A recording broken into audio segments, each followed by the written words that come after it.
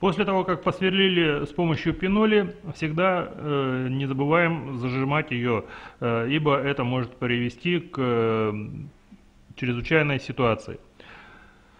Итак, начинаем фрезеровать э, паз.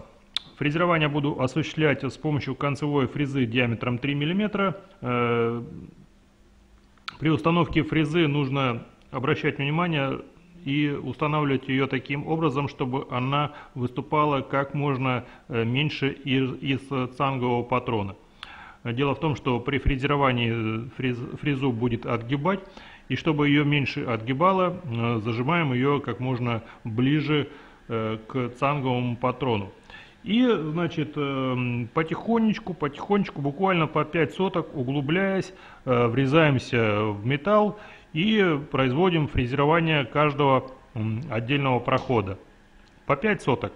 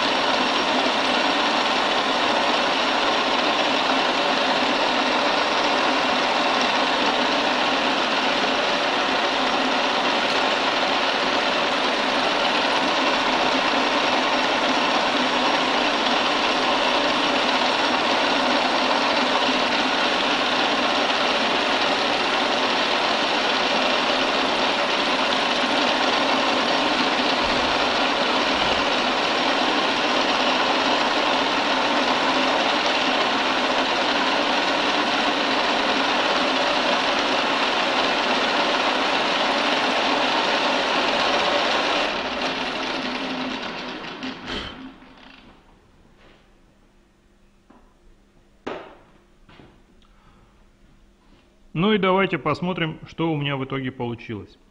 Я беру концевую меру толщиной 3 мм и попытаюсь сейчас ее пропихнуть в этот паз. Получилось идеально. Плитка свободно передвигается, но не падает. Это говорит о том, что Размер составляет ровно 3 миллиметра.